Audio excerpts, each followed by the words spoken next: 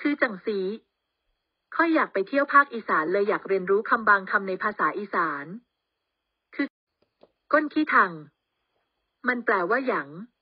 คนกระแทกพื้นตัว เช่นยืนอยู่ดีๆล้มลงนี่เอิ้นว่า ก้นขี้ทางทั้งยืน ก้นโตน แปลว่าหยังฝาเปือยหรือว่าเปือยกาย เสื้อผ้านี่บ่ใส่บ่ใส่หยังจักอย่างกอสอคือแบบใดอาการที่เด็กน้อยนั่งซ่อมซ้อคันผู้ใหญ่นี่เขาสิว่านั่งโกโซอยู่กกวกคือแนวใด คนที่สูบพอมมีแต่หนังติดกระดูกเอิ้นว่าจอยกูกโวก